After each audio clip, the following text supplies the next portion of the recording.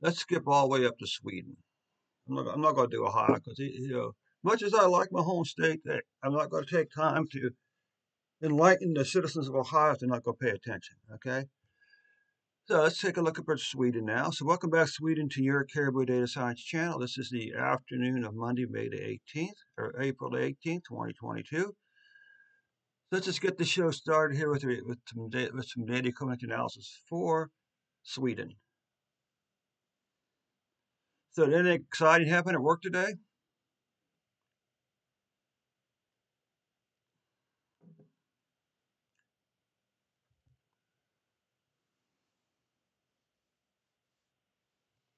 You can see that Sweden's cases for 2022 of this blowing right by 2021 cases. And deaths have passed 2021 deaths.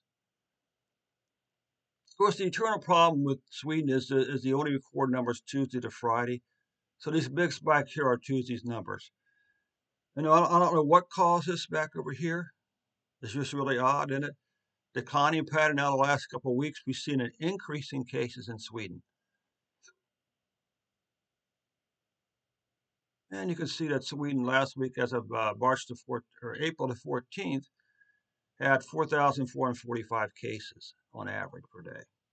You can see the decrease. Now, why do we have this big gap in deaths also? Okay. I mean, it's, uh,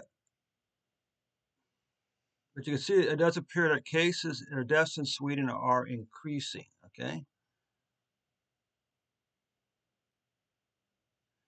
You can see that in the midst of a four-week decline in COVID-19 deaths, the, as of, uh, for the the period ending April the 17th, they were averaging 21 deaths per day.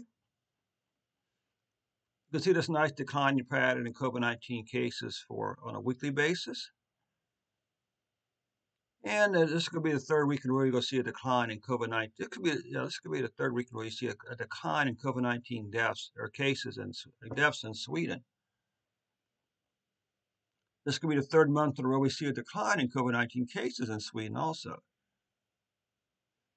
And the second month in a row, we're going to see a decline in COVID 19 deaths in Sweden. Okay, Sweden, that concludes your report for today.